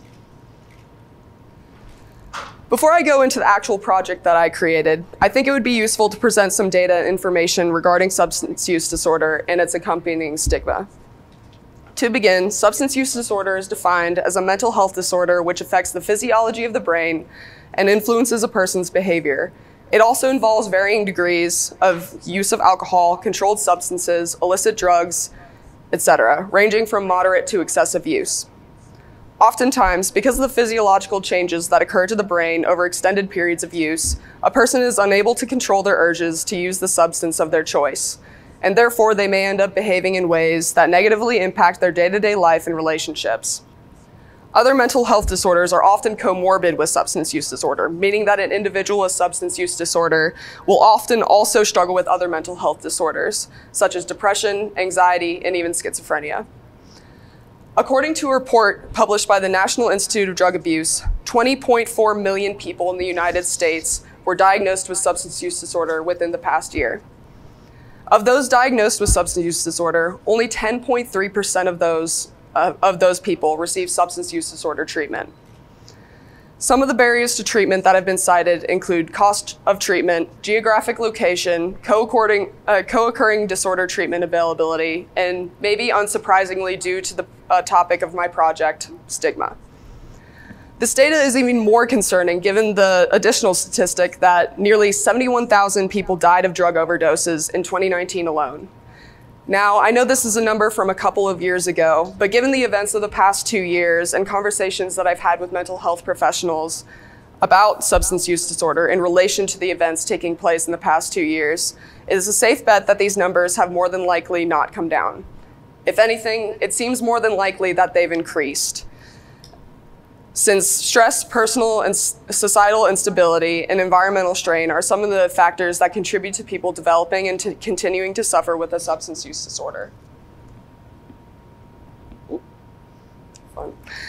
Another factor that contributes to our country's continued struggle with substance use disorder is stigma. Stigma, quite literally, means a mark of disdain or discredit, or stain. Considering this definition alone, it's easy to see why someone would struggle if they were stigmatized. However, research does provide us with clear evidence of this. According to the American Psychological Association, stigma has de demonstrated to increase personal sh shame, hopelessness, mental health issues, and isolation on an individual level. It also reduces self esteem and self efficacy, otherwise known as a person's belief in their capacity to execute behaviors specific to performance attainments. Stigma also greatly reduces the likelihood of someone asking for help, since the individual worries about how people perceive them and, as a result, how they will be treated. This is especially true for those who struggle with substance use disorder, since substance use has long been regarded as an issue of personal and moral responsibility rather than a health condition. There are three distinct types of stigma that are discussed within the research structural, public, and self stigma. Structural, or institutional stigma, is the societal behaviors that create and perpetuate prejudice and discrimination. As such, it includes policies of governments and private organizations that intentionally or unintentionally limit opportunities for those who struggle with substance use disorder. Examples of this include receiving poor medical care because of substance use, being denied a job opportunity due to history of substance use, or legislation such as mandatory minimum drug sentences. Public stigma, on the other hand, are the negative attitudes held by the general public and attitudes of subgroups, including first responders, clergy, etc. Part of the reason why public st stigma persists is because of the legislation and policies that come as a result of structural stigma, which appear to endorse and promote discriminatory attitudes towards certain populations. These policies guide behavior for citizens and often help inform the decisions they make and opinions they form about certain populations. Finally, the last piece of the puzzle is self-stigma. Self-stigma refers to the negative attitudes, including internalized shame, that people have about their own condition. This type often comes as a result of an individual facing structural and public stigma, which leads them to internalize these negative attitudes and apply it directly to themselves. The internal narrative of someone who holds self-stigma can sound a lot like, I'm dangerous, I'm incompetent, I'm to blame which leads to an intensified feeling of hopelessness and lowered self-esteem and self-efficacy. Low self-efficacy has been associated with failure to pursue work or independent living, and it also been, has been shown to negatively correlate with help-seeking behavior. Considering all this, it becomes clear that stigma is a monumental barrier to people overcoming substance use disorder and trying to achieve uh, treatment. Even more so, it is something that we can all choose whether or not to take part in. This choice, however, comes with some caveats. Substance use disorder is something that has been peddled to us as American citizens for the past 50 years, and primarily since the inception of the war on drugs and the legislation and policies that came forth from it, namely the Controlled Substance Act of 1970 and mandatory minimum drug sentences. The narrative that was pushed during this time and that continues to be pushed to this very day is that people who freely choose to use drugs are dangerous criminals who wish ill will on us and our very society as we know it. It is a narrative that is fueled by misinformation and, more potently, fear. Ultimately, I think this is all that stigma really is at the end of the day. It's fear that comes from misunderstanding. Fear is not something to be trifled with. It's an incredibly powerful emotion that can motivate people to do things and act in ways that they otherwise wouldn't.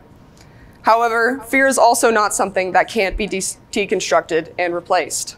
By taking the misinformation about substance use disorder that has been promoted for the past several decades and replacing it with actual research about substance use disorder and what we can do to help prevent and treat it, along with encouraging people to get involved and create a community with people who struggle, I believe we can start the process of deconstructing stigma and replacing it with an equally powerful force, that being empathy.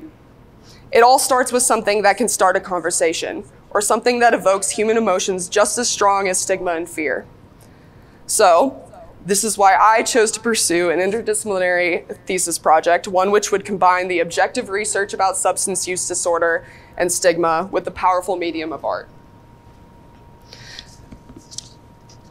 One of the things, first things I did during my research and artistic process was research some art, some artists that to inspire me along the way. I was primarily drawn to the work of Eva Hesse, which you see over on the very left-hand side, a German-American artist who is best known for her work creating large found object sculptures.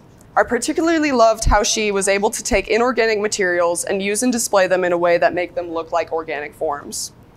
In addition to Hesse, I also admired the work of Nam June Paik, who you see right here. Uh, June Paik is a Japanese American artist who is widely considered the father, father of video art.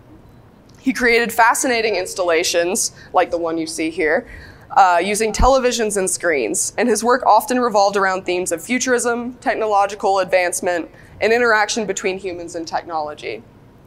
I also drew inspiration from John Baldessari, who you can see right down there in the center. Uh, I particularly fell in love with his work, which you see next to him, titled What is Painting? Oftentimes with his work, Baldessari likes to challenge the audience on their notions of what they believe art to be, or how they believe art should look like, or how it should function.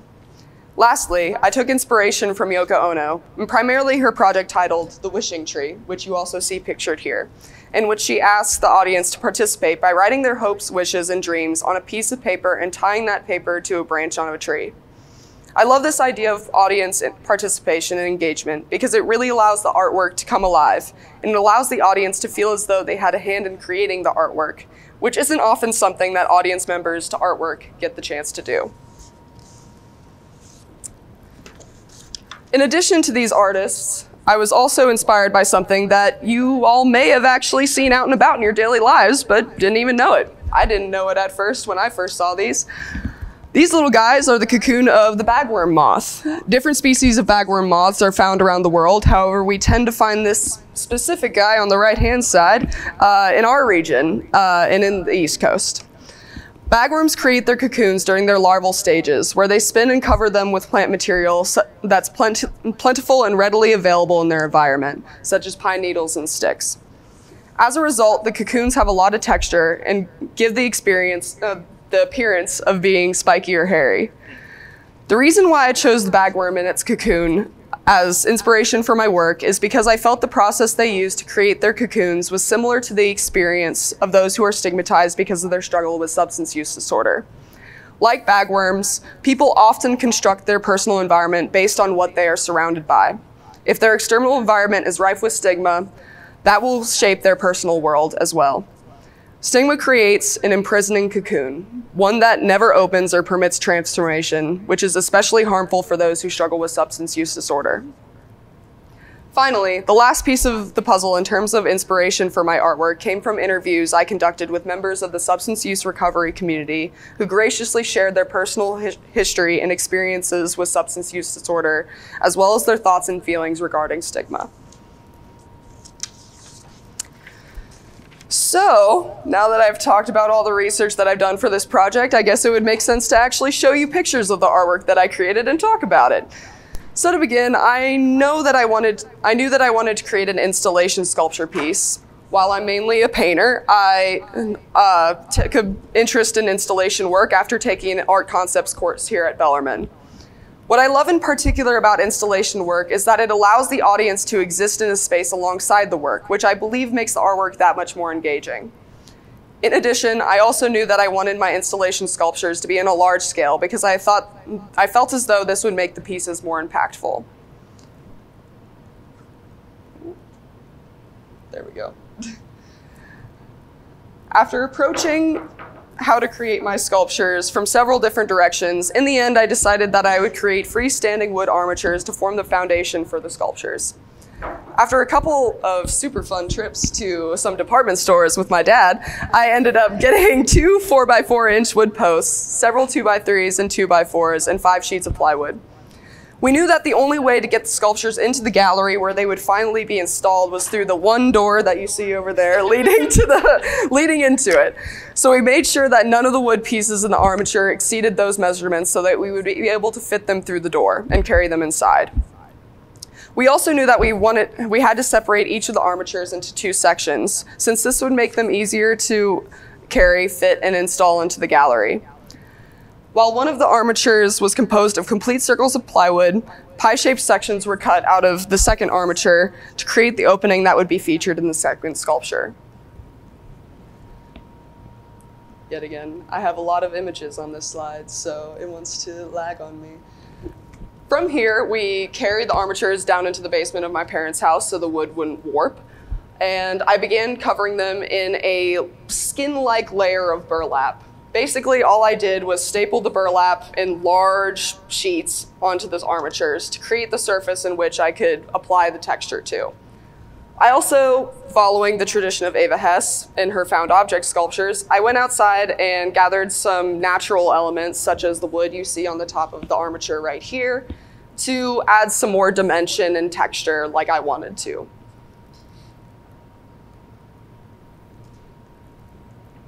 Come on. Maybe.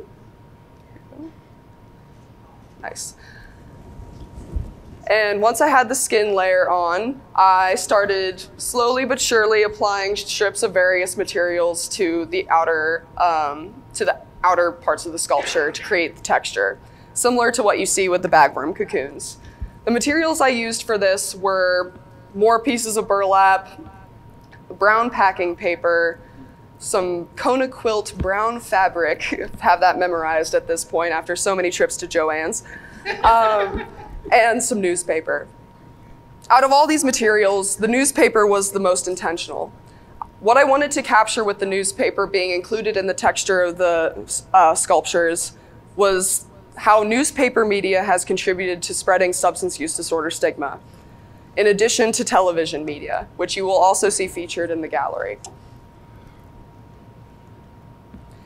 In addition to these installation sculpture pieces, I thought it was also necessary to create other pieces that would contextualize the work since I realized that a lot of my work is pretty symbolic and metaphorical.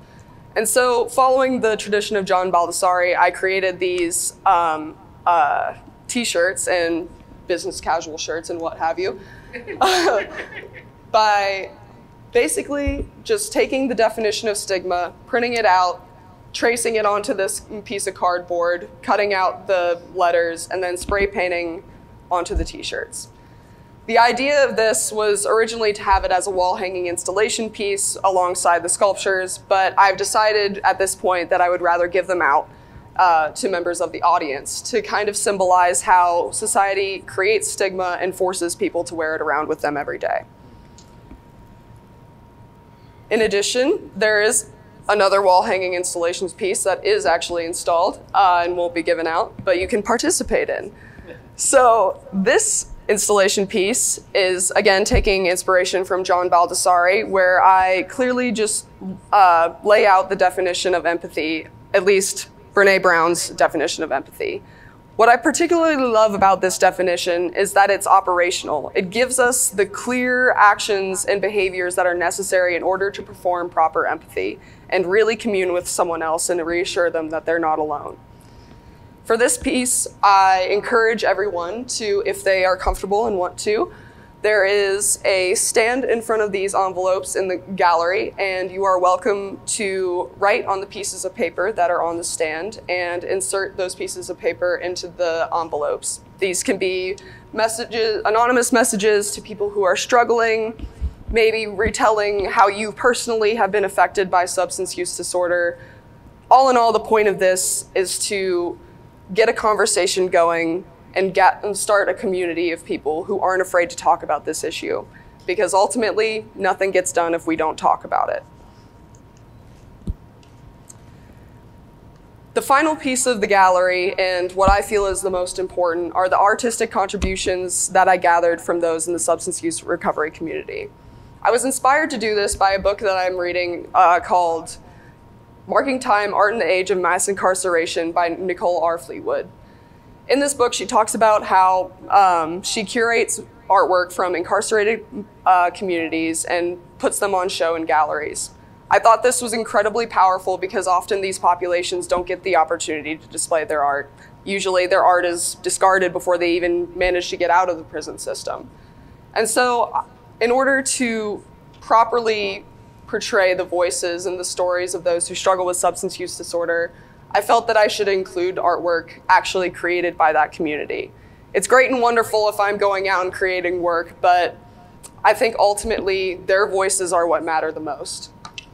And so I reached out again to Sarah Hellman from Art for All People and asked her if I could volunteer with her over the summer to gather some artwork from members of the substance use recovery community.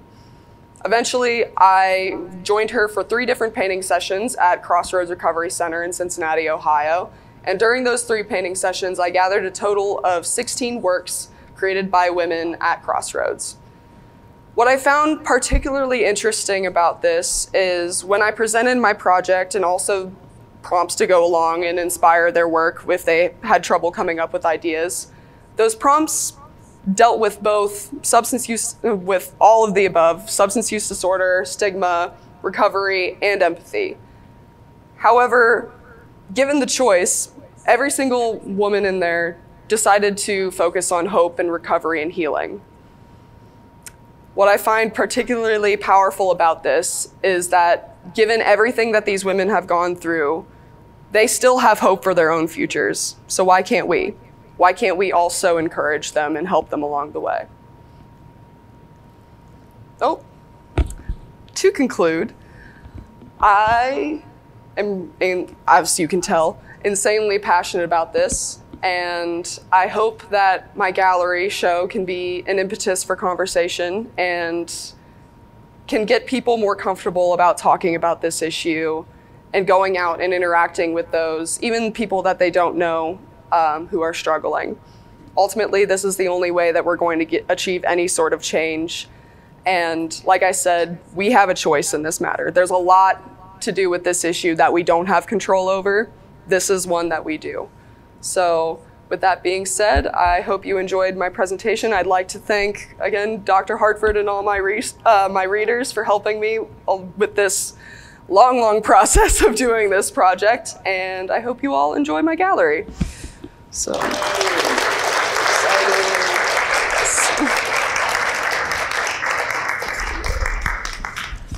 Amazing, amazing stuff. So uh, I don't know about you, but I am just incredibly inspired and humbled by the curiosity and intelligence and creativity and compassion uh, that were on display in these four uh, incredible uh, presentations. Today I'm going to invite our four presenters back up here for a Q&A in a moment. For, we have about 15 minutes for a Q&A. But first, some reminders, because you may have forgotten. I know it's been a while uh, since I told you these things. Uh, first, don't forget to sign in uh, so that we can give all of your personal information.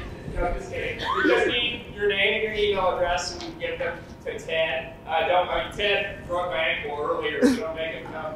Uh, I'm just kidding. But we do need to give Ted the sign-in information. So if you didn't sign in earlier, sign in on your way out. Uh, also, we do have a reception next door in the gallery. You're going to want to go there uh, because that's where Katie's uh, unbelievable uh, art installation is. You're going to want to see that for yourself. It's even more impressive in 3D than it was up here uh, on the screen. Uh, so please join me in that. Oh, and also there is honors merch for sale over there at our, at our Rocket merch table. Uh, so again, complete all of your holiday season shopping tonight, and then you can just relax and, and, and eat turkey or whatever it is you're going to do. So now can I call uh, our three, our three uh, wonderful plus uh, Zenia. Uh, I'll call her back up from, from cyberspace here.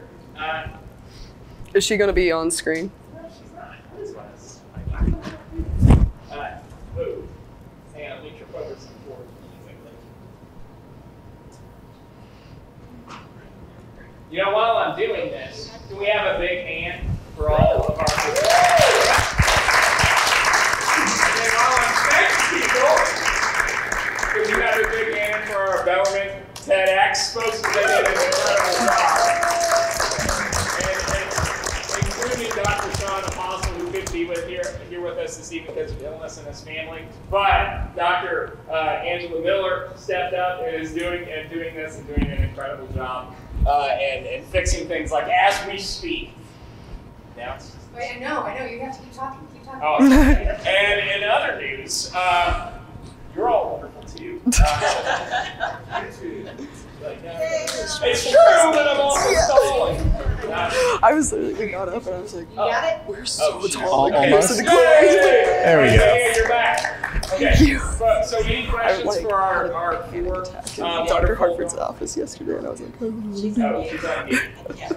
And you're on mute. Yeah, you're-. Thank you. I appreciate it.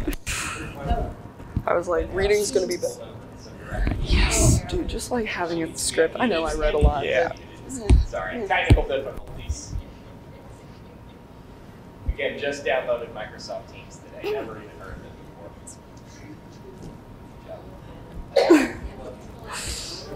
Even if they There we go. knock it out of the park. You know what I'm talking about. Backwards here. Yeah, you're the best. You're the best. All right, can, um, she, Zenia, can you hear us? We're doing a Q&A. Yes, I can hear you. Okay. Okay. That's our, first, that's our first question. camera. And you're welcome to turn your camera back on too. If you like. Oh, can you guys see me? Yes. Yes! Yay! Yay! All right. Uh, any questions from the audience from our, our four uh, very talented and, and wonderful uh, presenters? Dr. Spiliotis. So, Zenia, I have a question about the GPS. How do you account for when it makes mistakes? Zenia, the question is Dr. Spiliotis' GPS occasionally makes mistakes. She wants to know why. Um, I actually don't have an answer to that question. Hey, we all make mistakes. They'll make mistakes. Uh, Professor Hartford, who never makes mistakes, does have a question. Cindy, have you, as part of your research, did you look into the sort of ethical questions about uh, data mining, uh, geographic location information? Yeah, I, Zenia, the question was, as part of your research, did you look into any of the ethical implications related to data uh, mining and geographic location information, Or even just data access? or even data access? In other words, uh, are there ethical dimensions to what our GPS knows about us? No, but that is really interesting and probably something that I want to look into. I didn't really think about that. Um, obviously, like it knows all the geographical locations um, because of where they're like placed and like the satellites that are obviously like can see us right now. But um, I didn't think of the ethical part, which is something really um, interesting that I'll have to look into. I, I'd like to recommend a website called uh, I Know Where Your Cat Lives. yeah. Zenia, do you have a cat? No, but I really want one. Well, there you have it, folks. Uh, uh, other questions for, for our presenters? Dr. Spiliotis, again, with a question. So Chloe, I, um, I think what the project you're working on, and I assume you're gonna keep working on that, uh, it's so exciting.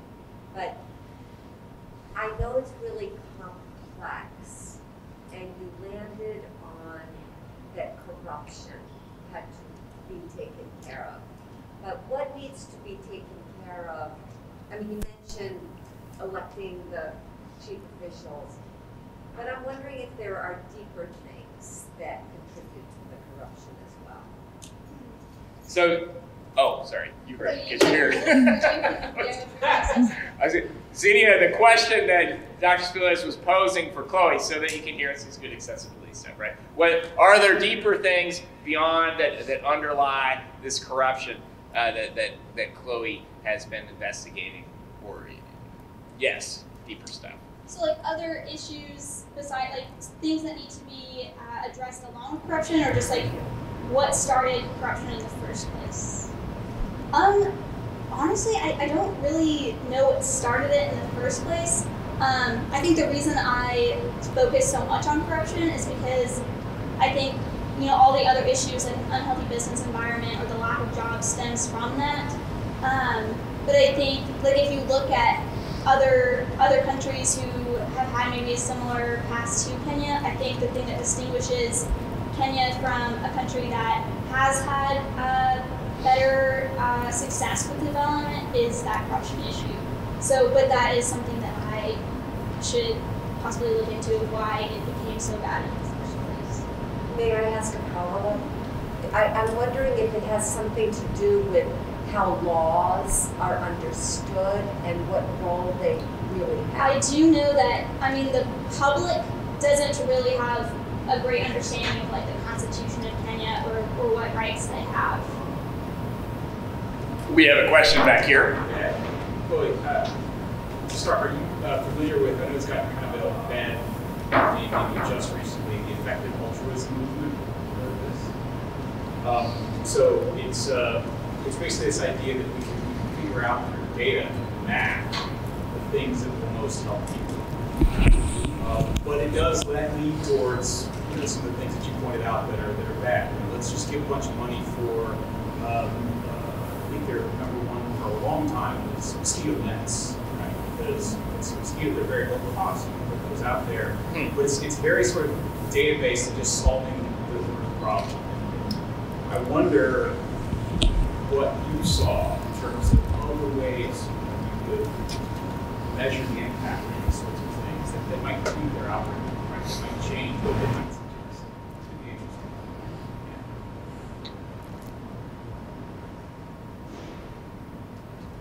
And we have another question back here. Um, well, so you mentioned about some education that could be happening through understanding um, corruption and what's going on, what rights the Kenyans and uh, citizens have. What kind of education and technology do they have access access to right now? Is that anything like that they're being aware of, being made aware of these laws and things like that? Like that Yeah, I think right now there's really a lack of educational NGOs in Kibera. Um, in terms of education in general, like there are a lot of schools. Uh, you might be surprised about how many schools are in Kibera. Um, and residents really placed a lot of emphasis on educating their children.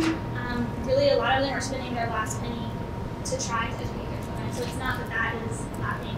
Um, in terms of technology, you would also be surprised at how many residents have a phone. Um, so it's not the same like quality that you would have maybe you know in developed countries, but they do have a phone with access to internet and access to apps. I, I text a lot of the residents who I you know interview like regularly.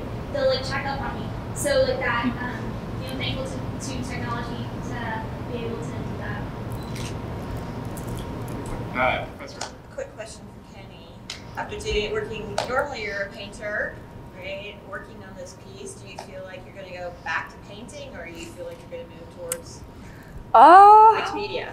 Your next big project? kind of both, honestly. I mean, I really, admittedly, didn't love painting coming into Bellarmine, but they make you choose between a sculpture emphasis and a painting emphasis. And I was like, well, okay, I've never experienced anything with sculpture. I guess I'll do painting, even though I hate it. Um, but really came to love painting through being here at Bellarmine, and actually am currently working on one of my biggest pieces on a five foot by four foot canvas. Um, so the plan is ultimately to mainly focus in painting because that's probably the most, the easiest thing to do. But I would love to continue to work in installation um, in any way that I can. So What a fascinating true confession. yeah, I know. and incredible, Kenny's an incredible painter. Oh, folks, just so you know. Uh, doc, the question from Dr. Smith. I'm so sorry. No, Nick, I, I- this is my extreme stupidity, but I was intrigued when you said that when you, when you radiate Uh huh. with the, the surface, Uh huh. that then something pops out and Uh-huh. then you have something spectrometer that gathers all Uh-huh. and creates it. Uh, how does that work? In other words, how does it Sure. create the image in the right way? Yeah, uh, so essentially, uh, when you're scanning your electron beam across the surface of your flake, um, that light emission is kind of, you know, radial. It's from that point, it goes out in all directions. And so then at the top of our chamber, we have a parabolic mirror, kind of this very nice curved mirror that actually focuses that. Kind of, if you can imagine that you have a point here and then it spreads out and then it hits the mirror and then it coalesces back to a single point and we focus that point over the actual like little tiny pinhole opening of our spectrometer. And then as far as building the image, it's just able to build like point by point uh, the actual like relative brightnesses of the light at a given wavelength. Like it has filters that select between those wavelengths and only let through that specific wavelength. And then we're able to kind of bit by bit build out an image based on that. So, So I have a follow-up. Do you Sure. think that that's in any way related to how the eye sees? um, there's similar processes. I mean, any kind of imaging is, is really just a series of um, photoreceptors that are, are basically going to, to send some kind of a signal in response to a certain brightness threshold for light. So in, the eye, I'm, I'm no biology major, so I can't speak to that. But you know, you have your, your cone and rod cells that are designed to be you know photoreceptive and send a, a neural impulse when you have that brightness. And the only difference when you're talking about it in computerized terms is yeah that you're just focusing that onto a machine that that sends an electrical signal in response to that brightness. So yeah. Dr. Karras. kind of going to how do you actually crystallize your? Yeah, um, that, that's awesome. Uh, a lot of people ask about that. Um, so what's funny, that's totally, um, that was totally outside of my research group. So I didn't directly participate in that. But as it's been described to me, it's this uh, process called chemical vapor distillation, where, yeah, you're essentially taking a saturated solution, you're evaporating it off, and then you're condensing it back down on the plate where you want them to grow. And then because they're these uh, it's a very specific temperature and pressure that you have to use. That's it's very very sensitive. But um, from that, you basically just kind of crystallize it out from from a point like very very fine, very tiny rock candy, where where you're you're kind of starting from that little seed, and then it builds from that same kind of crystalline matrix. They grow in these really pretty geometric patterns. It's very nice. Dr. Ackerman. So you mentioned potential applications for this technology. Uh-huh. Any idea how expensive this technology is? Well, it depends largely on the um, on what exactly you're uh, you're you're working with. Like I said, the whole advantage uh, why people are so interested in graphene is because it's just carbon and it's very easy to source carbon and to deposit carbon. In terms of actual manufacture, uh, when you compare it like at scale to other uh, processes, it's not nearly as expensive as the precision would make you think. It is pretty it does scale up pretty well to my understanding. I haven't looked a lot into the economics of it, but it's it's fairly feasible. It's really just kind of doing the legwork now and kind of establishing this basis for how do these materials behave in all of these circumstances and, and kind of just building that portfolio of, of learning how can we exploit these natural properties in, in these materials in an efficient kind of way. I think we have time for one more one more question. I have one for Zenia. We have a question for you. It was just like, where do you see GPS going in the future? Like, I guess the thing I think of now is like, before you now you can drop like a location on Google Maps and Street Maps, and then obviously you mentioned like stuff with Mars and NASA, but where do you see it going? Like, I guess more like here on Earth. The question is, what is the future of GPS here on Earth? Uh, where do you see it going next? You mentioned destroying asteroids or something, but what are the future applications here uh, on our planet, Zenia? Yeah. So I think, like, aside from the like major projects, obviously the, the GPS is going to be able to like work faster and more efficient.